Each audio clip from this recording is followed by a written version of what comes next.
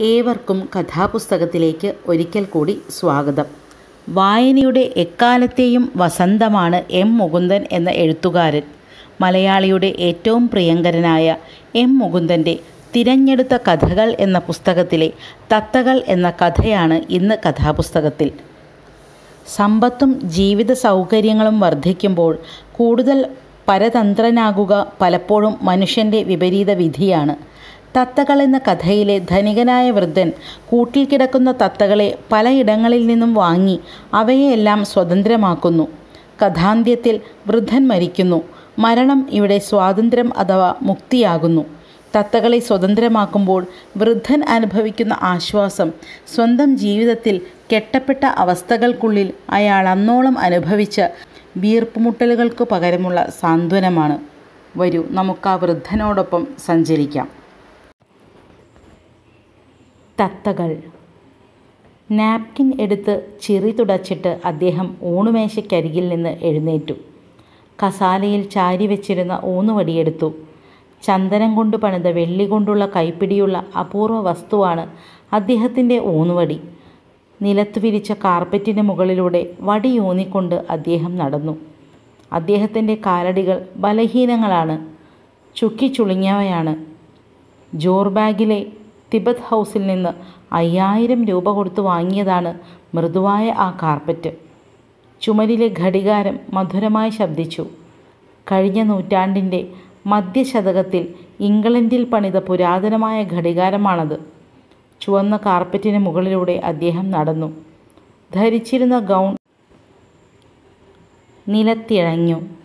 ചിത്രങ്ങൾ തുന്നിപ്പിടിപ്പിച്ച നീല ഗൗൺ എപ്പോഴും ഊഷ്മളമാണ്. അദ്ദേഹം ബംഗ്ലാവിന്റെ മാർബിൾ പടികൾ ഇറങ്ങി. അപ്പോൾ കിതച്ചു. അദ്ദേഹം ഉദ്യാനത്തിലേക്ക് നടന്നു. ഹരിതനിറം പൂണ്ട പുൽത്തകിടിയിൽ ഇളം വെയിൽ പരന്നുകിടക്കുന്നു പൂക്കൾ കാറ്റിലാടുന്നു. അദ്ദേഹം തന്റെ ഈസി ചെയറിനെ ലക്ഷ്യമാക്കി നടന്നു. പിറകെ വെളുത്ത ഉടുപ്പിട്ട പരിചാരകൻ ദിനപത്രവുമായി വന്നു. അദ്ദേഹം കസാലയിൽ ചാരിക്കിടന്നു പത്രം വാങ്ങി നിവർത്തി. പരിചാരകൻ പുല്ലിലിരുന്ന് അദ്ദേഹത്തിന്റെ കാലുകൾ തിരുമ്മി. അദ്ദേഹം പത്രവായന നിർത്തി. ഹുക്കയുടെ കുഴൽ വായിൽ വെച്ചുകൊണ്ട് കസാലയിൽ ചാരിയിരുന്നു. അദ്ദേഹത്തിന്റെ കണ്ണുകൾ ചുറ്റുപാടും അലഞ്ഞു നടന്നു. നരച്ച ചുളുങ്ങിയവയാണ് അദ്ദേഹത്തിന്റെ കണ്ണുകൾ. പറവകൾ പാറിക്കളിക്കുന്ന ആകാശത്തിൽ നിന്ന് അദ്ദേഹത്തിന്റെ കണ്ണുകൾ താണു. വെയിലിൽ കുളിച്ചു നിൽക്കുന്ന ബംഗ്ലാവിന് മുകളിൽ തങ്ങി നിന്നു. അദ്ദേഹത്തിന്റെ കണ്ണുകൾ വീണ്ടും സഞ്ചരിച്ചു. കാർ ഷെഡിൽ പതിഞ്ഞു. അവിടെ നിന്ന് സെർവൻസ് ക്വാർട്ടേഴ്സിന് മേൽ ഇഴഞ്ഞു ചെന്നു. ഇറയത്ത് തൂങ്ങിക്കിടക്കുന്ന ഒരു തത്തക്കൂട് അദ്ദേഹത്തിന്റെ ശ്രദ്ധയിൽപ്പെട്ടു. കണ്ണുകൾ പിന്നെയും സഞ്ചരിച്ചു. വാഹനങ്ങൾ ഒഴുകുന്ന നിരത്തിൽ കെട്ടുപിണങ്ങി കിടക്കുന്ന വേപ്പുമരങ്ങളിൽ അദ്ദേഹത്തിന്റെ കണ്ണുകൾ പിന്നെയും തത്തക്കൂട്ടിൽ തിരിച്ചു വന്നു. കൂട്ടിൽ തത്തയില്ല. കാൽ തിരുമെന്ന് രാമകൃഷ്ണനോട് ചോദിക്കുന്നു കൂട്ടിൽ തത്തയില്ലേ രാമകൃഷ്ണൻ? ഉണ്ടല്ലോ ഭവ്യതയോടെ പരിചാരകൻ പറഞ്ഞു. അദ്ദേഹം സൂക്ഷിച്ചു നോക്കി. തത്തയെ കണ്ടില്ല. രാമകൃഷ്ണനും നോക്കി. തത്തയില്ല കൂട്ടിൽ എന്നവനും തോന്നി. അദ്ദേഹം കസാലയിൽ നിന്ന് എഴുന്നേറ്റു. രാമകൃഷ്ണനും എഴുന്നേറ്റു. അദ്ദേഹം തത്ത കൂടിനെ ലക്ഷ്യമാക്കി നടന്നു. പിറകെ പരിചാരകനും നടന്നു. അദ്ദേഹം കൂടിന് മുൻപിൽ നിന്നു. തത്ത കൂട്ടിൽ ഒരു വശം ചരിഞ്ഞു കിടക്കുകയാണ്. കണ്ണുകൾ പകുതി അടഞ്ഞിരിക്കുന്നു. കാലുകൾ വിറങ്ങലിച്ചിരിക്കുന്നു. തത്ത മരിച്ചിരിക്കുന്നു. രാമകൃഷ്ണൻ അദ്ദേഹം വിളിച്ചു തത്ത എങ്ങനെയാണ് മരിച്ചത്? അറിയില്ല സവിനയം പരിചാരകൻ അറിയിച്ചു. സുഖക്കേടായിരുന്നോ. തീറ്റ കൊടുക്കാറില്ലേ? സുഖക്കേടൊന്നുമില്ലായിരുന്നു രാമകൃഷ്ണൻ വിശദീകരിച്ചു. തത്ത സദാ കൂട് പൊളിച്ച് വെടിയിൽ ചാടാൻ ശ്രമിച്ചുകൊണ്ടിരുന്നു. അഴികൾ കൊത്തിപ്പറിക്കുമായിരുന്നു. ചിറകടിച്ചു ബഹളം വയ്ക്കുമായിരുന്നു. ഏതാനും ദിവസങ്ങൾ മാത്രം പിന്നീട് തത്ത അനങ്ങാതായി. ശബ്ദിക്കാതായി തിന്നില്ല കുടിക്കില്ല ദിവസം മുഴുവനും തരിച്ചിരിക്കും. അദ്ദേഹം ഒരിക്കൽ കൂടി തത്തയെ നോക്കി. പകുതി പിളർന്ന കൊക്കുകൾ പകുതി തുറന്ന കണ്ണുകൾ. തത്തയെ എന്തു ചെയ്യാൻ പോകുന്നു രാമകൃഷ്ണൻ? അദ്ദേഹം ചോദിച്ചു. ഫെർണാണ്ടസിന്റെ പൂച്ചയ്ക്ക് കൊടുക്കട്ടെ? ഫെർണാണ്ടസ് ഡ്രൈവറാണ് സംസ്കരിക്കൂ അദ്ദേഹം കൽപ്പിച്ചു. രാമകൃഷ്ണൻ കൂടു തുറന്ന് തത്തയെ എടുത്തു. നിലം കുഴിച്ച് ഇളം ചൂടുള്ള മണ്ണിൽ സംസ്കരിച്ചു. അദ്ദേഹം ഉദ്യാനത്തിലേക്ക് മടങ്ങി. ചാരുകസാലയിൽ കിടന്നു. ഹുക്കയുടെ കുഴലെടുത്ത് വായിൽ വച്ചു. പരിചാരകൻ കാൽ തിരുമാൻ തുടങ്ങി. മതി അദ്ദേഹം കൽപ്പിച്ചു. പരിചാരകൻ എഴുന്നേറ്റ് പോയി. ഹുക്ക വലിക്കാൻ തോന്നിയില്ല. കുഴൽ താഴെയിട്ടു. ദിനപത്രം തുറന്നു. വായിക്കാൻ കഴിഞ്ഞില്ല. പത്രം മടക്കി വെച്ചു. കസാലയിൽ കണ്ണടച്ച് ചാരിക്കിടന്നു. അപ്പോൾ സുന്ദരനഗർ മാർക്കറ്റിൽ ഒരിടത്ത് തൂങ്ങിക്കിടക്കുന്ന ഒരു തത്തക്കൂട് അദ്ദേഹത്തിന്റെ ഓർമ്മയിൽ വന്നു. അതിലൊരു തത്തയുണ്ട്. സദാ ഉറക്കം തൂങ്ങുന്നു. അദ്ദേഹം എഴുന്നേറ്റു. കാർ ഷെഡിലേക്ക് നടന്നു. ഷെഡിന്റെ ഒരു മൂലയിൽ ഫെർണാണ്ടസ് കിടന്നുറങ്ങുന്നു. അദ്ദേഹം കാർ തുറന്നു കയറി. കാർ വെളിയിലിറങ്ങി. ഫെർണാണ്ടസ് ചാടി എഴുന്നേറ്റു. അദ്ദേഹം മാർക്കറ്റിലേക്ക് കാർ ഓടിച്ചു. സ്വീറ്റ് കോർണറിനരികിൽ തൂങ്ങിക്കിടക്കുന്ന തത്തക്കൂട് കണ്ടു. കാർ നിർത്തി. അദ്ദേഹം വെളിയിലിറങ്ങി. ഈ തത്തയെ എനിക്ക് തരുമോ? തത്ത മുറുക്കാൻ കടക്കാരന്റേതാണ്. കടക്കാരൻ സാത്ഭുതം അദ്ദേഹത്തിന്റെ മുഖത്തു നോക്കി. അഞ്ച് റുപ്പിക തരാം. തത്തയെ എനിക്ക് തരൂ. അദ്ദേഹം അഞ്ച് രൂപയെടുത്ത് നീട്ടി. കടക്കാരൻ ആർത്തിയോടെ പണം വാങ്ങി. തത്തയെ കൂടോടെ എടുത്തു നീട്ടി. അദ്ദേഹം കൂട് വാങ്ങി തുറന്നു. തത്തയെ വാരിയെടുത്തു മുകളിലേക്ക് എറിഞ്ഞു സന്തോഷസൂചകമായ ഒരു ശബ്ദത്തോടെ തത്ത പറന്നു പറന്നുയർന്നു. അദ്ദേഹത്തിന്റെ കണ്ണുകൾ മിന്നിത്തിളങ്ങി. നനയുകയും ചെയ്തോ? ഇനി എവിടെ കിട്ടും തത്ത? അദ്ദേഹം ചോദിച്ചു. കടക്കാരൻ ആലോചിച്ചു. ജംഗ്പൂരിലോ നൈസാമുദ്ദീനിലോ കിട്ടിയേക്കും. അദ്ദേഹം കാറിലേക്ക് തിരിച്ചു നടന്നു. നൈസാമുദ്ദീനിലേക്ക് കാർ ഓടിച്ചു. ഫരീദാബാദിലേക്ക് പോകുന്ന പത്തേമാരികൾ ബസ്സുകൾ ഡിപ്ലോമാറ്റുകളുടെ കാടില്ലാക്കുകൾ കുതിരപ്പുറത്ത് കാറ്റുകൊള്ളാനിറങ്ങിയ മദാമകൾ ഇടുങ്ങിയ ഒരു നിരത്തിൽ കാർ തിരിച്ചു. ദ്രവിച്ച കെട്ടിടങ്ങൾ. ഓവുകളിൽ വിസർജനം ചെയ്യുന്ന മനുഷ്യർ. ആണും പെണ്ണും കുഞ്ഞുങ്ങളും കിഴവന്മാരും. തകർന്ന ഒരു ശവകുടീരം. അതിന്റെ നിഴലിൽ ഒരു ചുടിക്കട്ടിൽ. വെള്ളിത്തൊപ്പി വെച്ച ഒരു മുസൽമാൻ വൃദ്ധൻ അതിലിരിക്കുന്നു. ഹുക്ക വലിക്കുന്നു. കാർ നിർത്തി. വൃദ്ധൻ ഭവ്യതയോടെ എഴുന്നേറ്റു. ഇവിടെ ആരെങ്കിലും തത്തയെ വളർത്തുന്നുണ്ടോ? വൃദ്ധൻ ആലോചിച്ചു. നരച്ച താടിയിൽ തലോടി. ആ ഉണ്ട്. എ ബ്ലോക്കിൽ രാംകുമാർ ലുഗാനി സാബിന്റെ വീട്ടിൽ. അദ്ദേഹം നന്ദി പറഞ്ഞു കാറിൽ കയറി. എ ബ്ലോക്ക് അന്വേഷിച്ചു. ലുഗാനിയുടെ വീട് കണ്ടുപിടിച്ചു. കൂറ്റൻ ബംഗ്ലാവ്. ഷെഡിൽ കാറ്. ഗേറ്റിൽ നായ്ക്കൾ. അദ്ദേഹം കാറിൽ നിന്നിറങ്ങി. ബംഗ്ലാവിലേക്ക് നടന്നു. അദ്ദേഹത്തിന്റെ ഗൗൺ നിലത്തിഴഞ്ഞു. രാജകീയമായ സ്വർണമുഖത്തിൽ വിയർപ്പുകണങ്ങൾ പൊഴിഞ്ഞു. നായ്ക്കൾ കുരച്ചില്ല. ബഹുമാനപൂർവം വഴിമാറി നിന്നു. പൂന്തോട്ടത്തിലിരിക്കുന്ന ലുഗാനി എഴുന്നേറ്റ് വന്നു. താങ്കൾ തത്തയെ വളർത്തുന്നുണ്ടോ?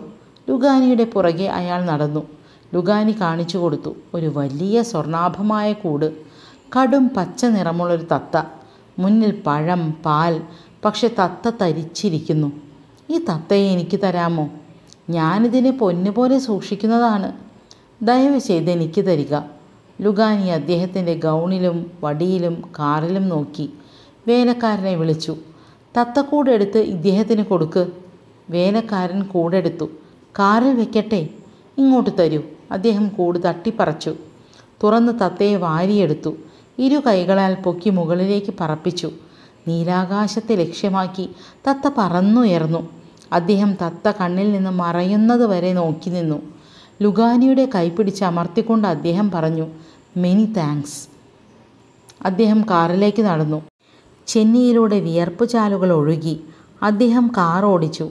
ഇടുങ്ങിയ നിരത്തുകൾ ഇരുവശത്തും ഞെരുങ്ങിക്കിടക്കുന്ന പീടികകൾ ഓവുകളിൽ പന്നികൾ നിരത്തിൽ മന്ത്രവാദികൾ ദ്രവിച്ച കെട്ടിടങ്ങളിൽ പർദ്ദകൾക്കപ്പുറം അഭിസാരികകൾ. ജംഗ്പുരം അദ്ദേഹം കാർ നിർത്തി. തൊട്ടടുത്ത് ഒരു അറവുപുരയാണ്. ചുവന്ന താടിയുള്ള അറവുകാരന്റെ അരികിൽ ചെന്നു. എനിക്ക് കുറച്ച് തത്തകളെ വേണം. തത്തയോ? എവിടെ കിട്ടും? ഒരെണ്ണം മതിയോ? അദ്ദേഹം തലയാട്ടി. കാസിം അറവുകാരൻ വിളിച്ചു. കാസിം എന്ന ചെക്കൻ വന്നു. അബ്ദുല്ലാമിർ സായുടെ കുടിൽ കാണിച്ചു കൊടുക്ക സാബിന്. കാസിം നടന്നു. അദ്ദേഹം പുറകെ നടന്നു. ഇടുങ്ങിയ ഗലിയിലിറങ്ങി തറയിലൂടെ അഴുക്കുജലം ഒഴുകുന്നു. അദ്ദേഹത്തിന്റെ ഗൗണിന്റെ അറ്റം ചെളിയിലിഴഞ്ഞു കാസിം നടന്നു. പുളഞ്ഞു പോകുന്ന ഗലികൾ പലതും കടന്നു. അദ്ദേഹം കിതച്ചു. കയ്യിലിരുന്ന വടി നിലത്തൂന്നി നടന്നു. കുടിലാക്കി മാറ്റിയ ശവകുടീരത്തിന് മുൻപിൽ നിന്നു. അബ്ദുല്ല കാക്കയുടെ വീട്. കാസിം തിരിച്ചു നടന്നു. അദ്ദേഹം ഗൗണിന്റെ പോക്കറ്റിൽ നിന്ന് ഒരു ഉറുപ്പിക എടുത്ത് അവന് കൊടുത്തു. മറ്റൊരു വലിയ നോട്ടെടുത്ത് ശവകുടീരത്തിനുള്ളിൽ കയറി. തത്തക്കൂട് തൂങ്ങിക്കിടക്കുന്നു. ഒരു കിളവിനിരുന്ന് താടിയിൽ മൈലാഞ്ചി തേക്കുന്നു. ഈ തത്തയെ എനിക്ക് തരിക. അദ്ദേഹം തത്തക്കൂടിനെ ചൂണ്ടിക്കാട്ടി. അദ്ദേഹം നോട്ടെടുത്ത് വൃദ്ധന്റെ കയ്യിൽ വെച്ചു കൊടുത്തു. വൃദ്ധൻ കൂടെടുത്ത് അദ്ദേഹത്തിന് കൊടുത്തു. കൂട് തുറന്ന് ഇരു കൈകളാൽ അദ്ദേഹം തത്തയെ വാരിയെടുത്ത് മുകളിലേക്ക് പറപ്പിച്ചു. തത്ത പറന്നുയർന്നു. അദ്ദേഹം നിരവധി ഇടവഴികൾ പിന്നിട്ട് നിരത്തിലെത്തി. കാറിൽ കയറുന്നതിന് മുൻപ് അറവുകാരനോട് ചോദിച്ചു എനിക്ക് കുറേ തത്തകളെ വേണം. എവിടെ കിട്ടുമെന്നറിയാമോ? സർദാർ ബാസാറിലോ ചാന്ദിനി ചൗക്കിലോ കിട്ടും കിഴവൻ പറഞ്ഞു. അദ്ദേഹം കാറിൽ കയറി. ആറു നാഴിക ദൂരമുള്ള ചാന്ദിനി ചൗക്കിലേക്ക് കാർ വിട്ടു. വെയിൽ കത്തിയെരിയുന്നു താറുരുകുന്ന നിലത്തിൽ ഭാരം വലിക്കുന്ന കുതിരകൾ ക്ഷീണിച്ചു കിതയ്ക്കുന്നു. പന്നികൾ നിഴലുകൾ അന്വേഷിച്ച് മേയുന്നു. ജനമൊഴുകുന്നു ചാന്ദിനി ചൗക്ക് എന്ന പൂരപ്പറമ്പിന് വെളിയിൽ കാർ നിർത്തി. അദ്ദേഹം തത്തകളെ അന്വേഷിച്ച് അലഞ്ഞു. മോത്തി സിനിമയുടെ മുൻപിൽ ഒരു തത്തക്കട കണ്ടപ്പോൾ അദ്ദേഹത്തിന്റെ കണ്ണുകൾ മിന്നിത്തിളങ്ങി. ഇടുങ്ങിയ കട നിറയെ കൂടുകൾ. കൂടുകളിൽ എണ്ണമറ്റ തത്തകൾ. തത്തയ്ക്ക് എന്താണ് വില? ഒന്നിന് മൂന്ന് റുപ്പിക. മൂന്നിന് എട്ട് റുപ്പിക. നിന്റെ തത്തകളെ മുഴുവൻ എനിക്ക് തരിക. എത്ര പണം വേണം? അവൻ തത്തകളെ എണ്ണി നൂറിലധികമുണ്ട്. അദ്ദേഹം കീശയിൽ കൈയിട്ടു. ഏതാനും ഒറ്റ നോട്ടുകൾ മാത്രം. കാറിൽ ചെന്ന് ചെക്ക് ബുക്ക് എടുത്ത് എഴുതി കൊടുത്തു. തുറിച്ച കണ്ണുകളോടെ തത്തയുടമസ്ഥൻ നോക്കി നിൽക്കവേ. അദ്ദേഹം കൂടുകൾ ഒന്നൊന്നായി തുറന്ന് തത്തകളെ മോചിപ്പിച്ചു. കൂടുകൾ തുറന്ന തത്തകളെ വാരിയെടുത്ത് മുകളിലേക്ക് എറിഞ്ഞു. കൂടുകൾ തുറന്നു തുറന്ന് കമ്പികൾ തറച്ച കൈകൾ മുറിഞ്ഞ് ചോരയൊഴുകി. സ്വാതന്ത്ര്യം കിട്ടിയ നിരവധി തത്തകൾ ചാന്ദിനി ചൗക്കിന് മുകളിൽ പറന്നുകളിച്ചു കിതച്ചുകൊണ്ട് ചോരയൊഴുകുന്ന കൈകളോടെ അദ്ദേഹം വീണ്ടും അലഞ്ഞു നടന്നു. തത്തകളെ അന്വേഷിച്ചുകൊണ്ട് ദരിയാഗഞ്ചിലും അജ്മീരി ഗേറ്റിലും സബ്ജി മണ്ടിയിലും അദ്ദേഹം അലഞ്ഞു. സൂര്യൻ മറഞ്ഞു. ഇരുട്ട് വീണു. ബ്രിഡ്ജിനരികിൽ എവിടെയോ നിർത്തിയിരുന്ന കാർ അന്വേഷിച്ച് അദ്ദേഹം നടന്നു. ഗൗണിൽ ചോരക്കട്ട പറ്റിയിരിക്കുന്നു. ഒരു കാലിലെ ചെരുപ്പുള്ളൂ. നടക്കുമ്പോൾ ഒരു കുതിരയെപ്പോലെ കിതച്ചിരുന്നു. കാലുകൾ കുഴഞ്ഞു. കത്താത്ത ഒരു വിളക്കിനു ഒരു വിളക്കുകാലിന് ചുവട്ടിൽ കാർ കണ്ടുപിടിച്ചു. അദ്ദേഹം ഡോർ തുറന്ന് അതിനുള്ളിൽ വീണു. സ്റ്റിയറിങ്ങിൽ മുഖം ചേർത്തു കിടന്നു. കാറിനെ ഇരുട്ട് മൂടി. ഒരു ചെറിയ ശബ്ദത്തോടെ അദ്ദേഹം രക്തം ഛർദ്ദിച്ചു അദ്ദേഹം കാറിൽ മരിച്ചു വീണു. അദ്ദേഹം സ്വാതന്ത്ര്യം നൽകിയ എണ്ണമറ്റ തത്തകൾ നക്ഷത്ര വെളിച്ചത്തിൽ നഗരത്തിന് മുകളിൽ പറന്നു കളിച്ചു. തത്തകൾ എന്ന ചെറുകഥ നമ്മെ കുറേയധികം ചിന്തിപ്പിച്ചു.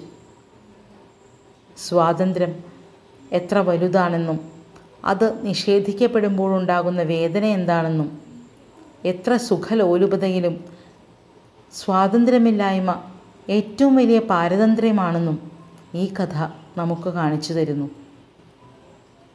കഥാപുസ്തകം ശ്രവിച്ച ഏവർക്കും നന്ദി.